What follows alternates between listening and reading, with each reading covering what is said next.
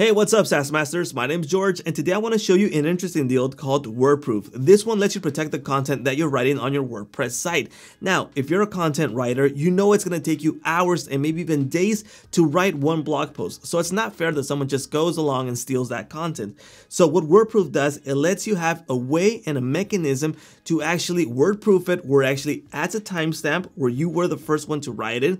And it also gives you a way to use it in a, if you have to open up a dispute, for example, on Google or maybe a lawsuit. So that it gives you that. Now, I'm not going to sugarcoat this because at the end of the day, it is possible that someone's going to steal your content, but it just gives you that extra layer of protection. And what I'm going to do right now is going to talk about the deal that's going on for WordProof and we're going to actually test it out to show you how it actually works so you can implement it on your site because it's actually pretty easy to get it installed and start using it right away. So let's go jump over to that deal right now.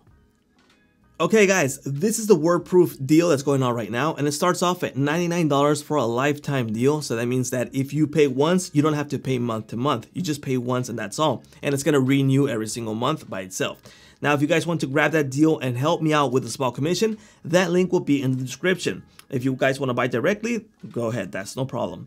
Now, let me show you what that plan actually gets you. I think it's a bit expensive, because it's only one single site. So if you have multiple sites, then it can get really expensive, all right?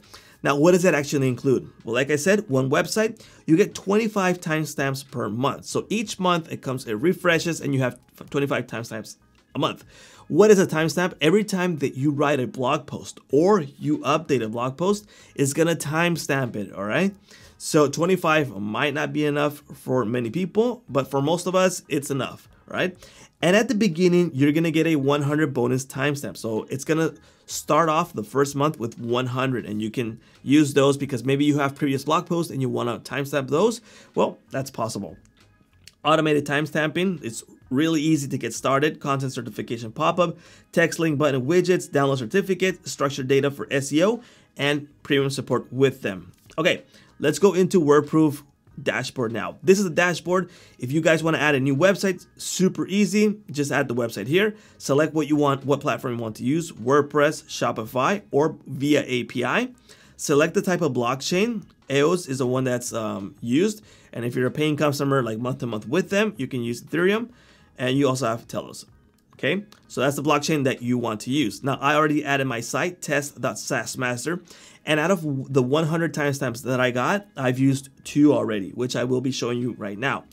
And this is coming soon, a WordProof monitor. I guess it's going to monitor if someone uh, writes the content somewhere else or if a modification is made without your knowledge. So that's going to monitor that.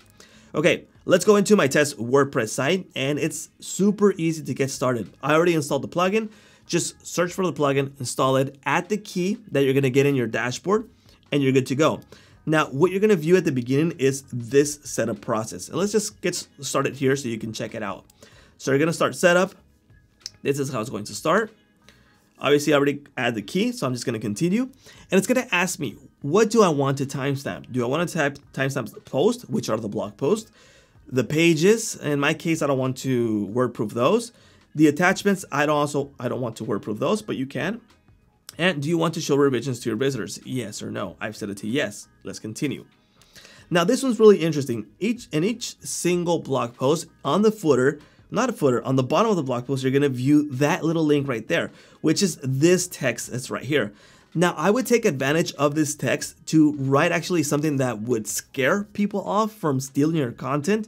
So in my case, I would say this content is protected by WordProof and I will, um, how would you say, uh, I will open up a dispute if the content is stolen or just something that that will say that so it scares people. For now, just leave it like it is, just so you guys check it out.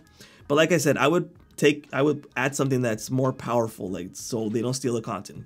Save and continue, finish setup, and you're good to go. Now you have options to timestamp the old blog post and the new ones. For now, the new ones are going to be timestamped automatically, but you can timestamp in bulk for example, posts, pages, and attachments. You have the settings options right here. So for example, if you need to update what it says right here, the options that we said before, and the setup, we saw that, and support. So let's go ahead and go one of the to one of the timestamps we've wrote already. So let's go here. This is a blog post. Like I said, this is a test site. And here is that on the bottom of the, of the post, that link that we have there. Now, if I click on it, this would be for someone, for example, if someone's viewing your site as a client or just a visitor, they'll view this, right? So the content has not been changed. They can view this information here. Do you discover how this content changed over time? So we can view that, previous versions. So in this case, I've added this test change.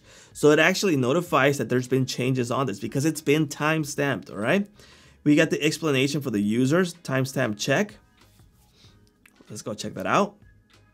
Here's the blockchain hash, raw content. We have the raw input right there and view on blockchain.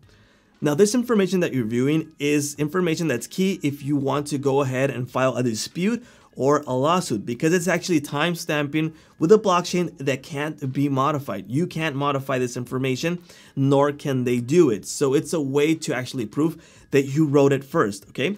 So it's gonna have all that information of who wrote it first, what time was it wrote, and all of that. So if someone steals the content, you have that information.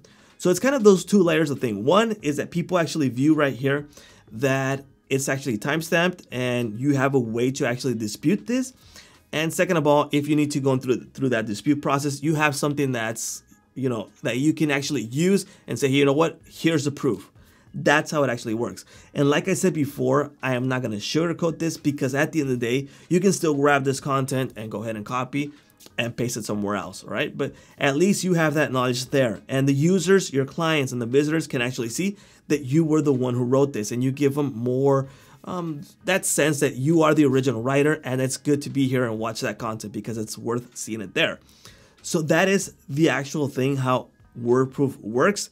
Like I mentioned before, the price, it's okay if you have one site, but if you have several sites, that could get really expensive. And on the other hand, if you need more than 25 timestamps per month, then this deal would not be enough. So that's something that you have to consider if this is worth it or not for you. So let me know what ideas you have. If you're using another type of software that does this, leave it in the comments and let me know what you actually think about this deal in the comments. Well, I thank you all for watching and at the end of the day, like I said before, if you guys would like to support me and buy the deal from this link, it gives me a small commission and it helps me out with the videos I'm making for you guys. Well, I'll see you guys later.